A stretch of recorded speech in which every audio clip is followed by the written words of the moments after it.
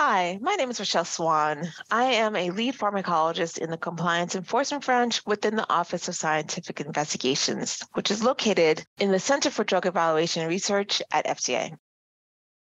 Our office is responsible for compliance and enforcement activities related to clinicaltrials.gov registration and reporting requirements for clinical trials involving CDER regulated drug products.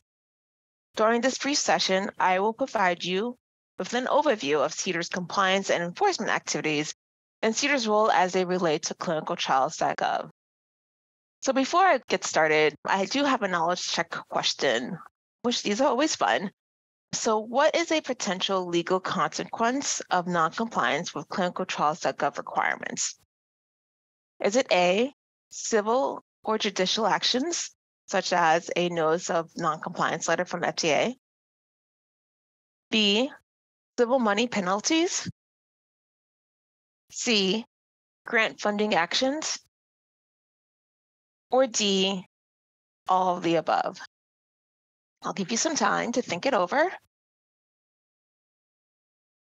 So the answer is D, all of the above. Congrats to all those who got it correct. So that was fun. But let's get into the key FDA responsibilities in regard to clinicaltrials.gov compliance and enforcement. The primary responsibilities related to clinicaltrials.gov are divided between NIH and FDA. FDA has compliance oversight responsibilities that really fall into three major buckets that I'll provide a little bit more details as we go through the presentation, but broadly, the first are the requirements around informed consent, the second is the requirement to submit a certification of compliance. And lastly, which I'll spend more time on this one, are the requirements for registration and results information submission to clinicaltrials.gov. As most of you know, the BIMO program is an agency-wide oversight program designed to monitor all aspects of the conduct and reporting of FDA-regulated research. Compliance activities related to clinicaltrials.gov are incorporated into FDA's BIMO program. The goal of the clinicaltrials.gov compliance program is to encourage voluntary compliance with the requirements. And we work closely with NIH and try to coordinate clinicaltrials.gov related activities. There are three ways in which we may identify noncompliance with clinicaltrials.gov requirements. So one, it may be identified through on-site inspections, so FDA inspections. We may identify noncompliance through evaluation of a complaint that is received, or most commonly through our surveillance efforts. Remember, the goal of our enforcement activities is to seek voluntary compliance with clinicaltrials.gov requirements. So let's go a little bit more into the three ways we identify noncompliance. So as mentioned previously, um, the first one is our throughout FDA inspections. So FDA may identify violations of clinicaltrials.gov requirements through evidence collected during inspections conducted as part of our BIMO program. There are three compliance programs that include specific instructions to assess certain clinicaltrials.gov requirements as part of the routine inspection, which include our IRB sponsors, clinical investigators, or sponsor investigator inspections. I have the CPs listed here, and those can be found online, but basically they describe all the procedures conducted during an inspection, including those related to clinicaltrials.gov. So if you have the time, it's always good to look at the CPs. The IRB compliance program includes an evaluation of informed consent documents to ensure they have the required statements referencing clinicaltrials.gov. During our sponsor or sponsor investigator inspections, the investigator determines who the responsible party is and whether the study of focus on inspection is an ACT, an applicable clinical trial. If it appears the answer is yes, then they will determine the primary completion date, whether results were submitted, or if there is a certification to delay results submissions. They will also look at informed consent documents to determine whether the appropriate required statement referencing clinicaltrials.gov are included. It's typically not necessary to conduct an inspection to determine whether a sponsor or a trial is subject to and in compliance with clinicaltrials.gov requirements. and we have generally found a very high level of compliance on inspections.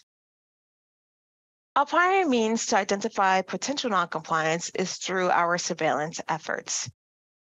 We utilize an analytics platform that incorporates data from clinicaltrials.gov and FDA systems to identify potential cases of noncompliance and then further evaluate potential cases manually using a risk based prioritization approach.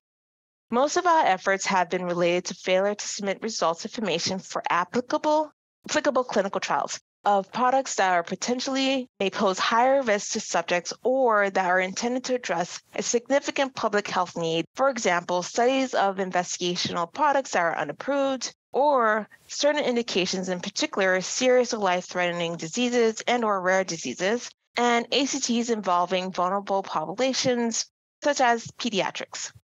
We would also prioritize RPs with a pattern of noncompliance or when we identify clinicaltrials.gov related violations in conjunction with other noncompliance pertaining to the conduct of a trial. And this would typically be identified during FDA inspections. So, in terms of identifying potential noncompliance, we assess these on a case by case basis. So information that we may evaluate to identify potential noncompliance includes, you know, clinicaltrials.gov national clinical trial records, including archived information. We also look at information collected as part of our FDA inspection, as mentioned earlier. And we also look at related publications and media articles, which can include journal articles, conference materials, and trade press stories. If we identify potential noncompliance that warrants further action, we will generally send the responsible party a preliminary notice of noncompliance or a pre-notice letter. A pre-notice letter describes the potential violation and requests that the responsible party addresses the potential violation within 30 calendar days after receiving the letter. It also notifies the recipient that beginning 30 calendar days after the date a pre-notice letter is received, we will conduct a further assessment of clinical trial information submitted to clinicaltrials.gov, and that failure to comply with those requirements relating to ACTs may result in further FDA regulatory action.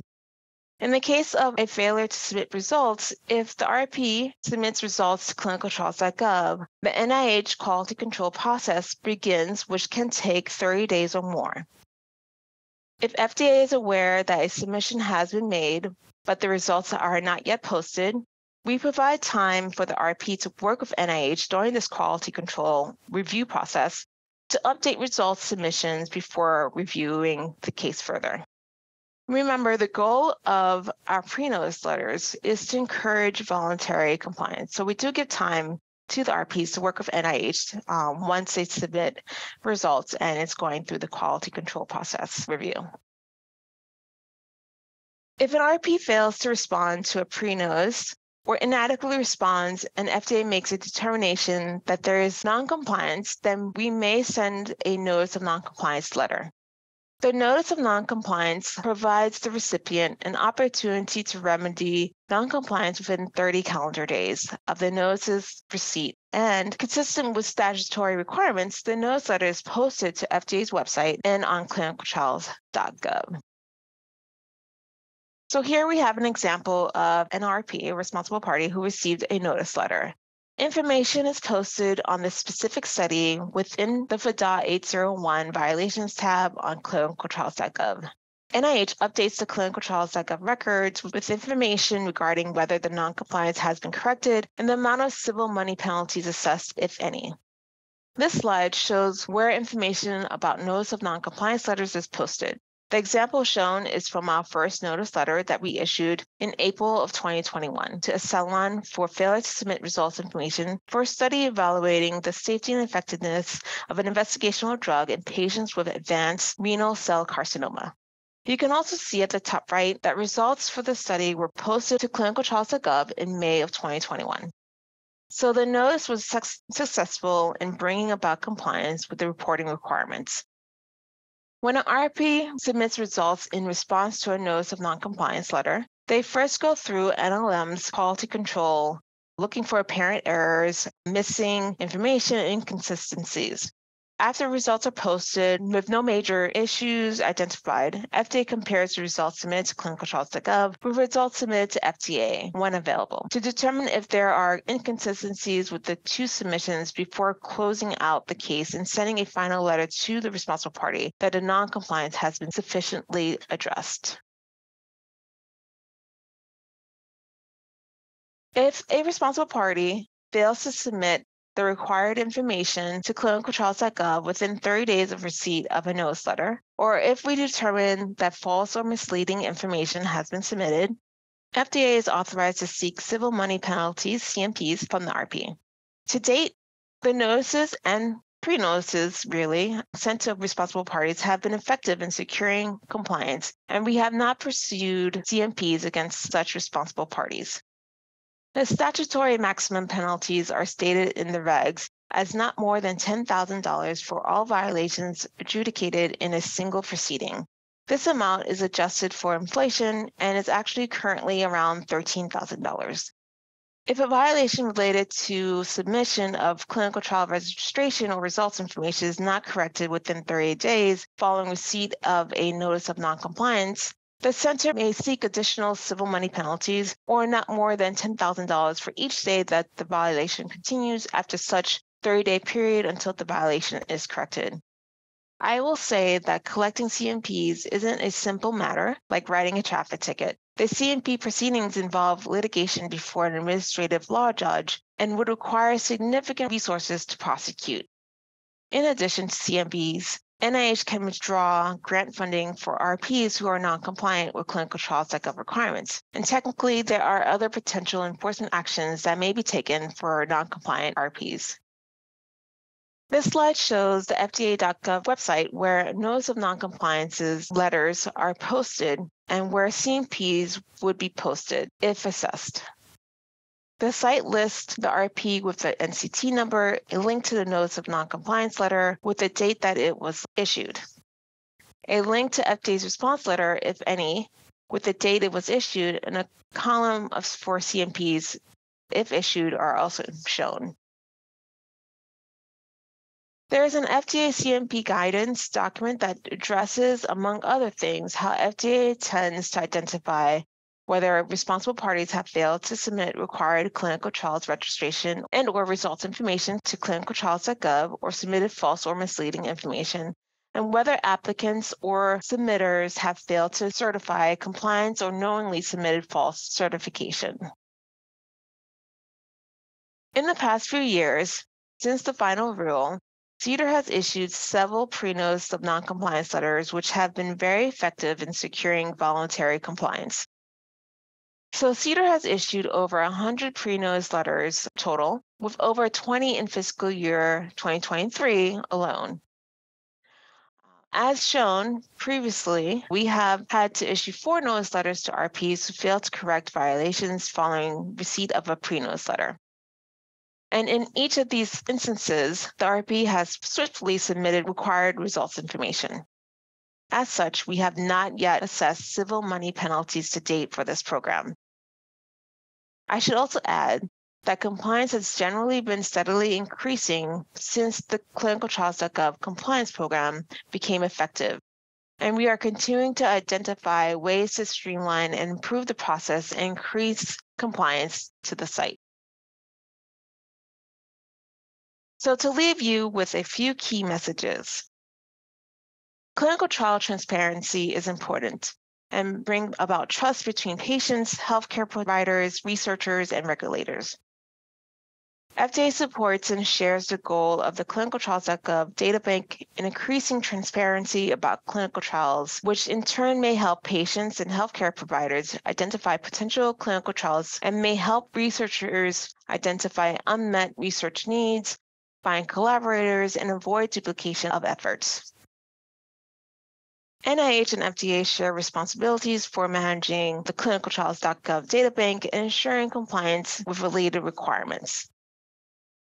Sponsors or the principal investigator, when delegated, are responsible for ensuring their studies are in compliance with clinicaltrials.gov requirements.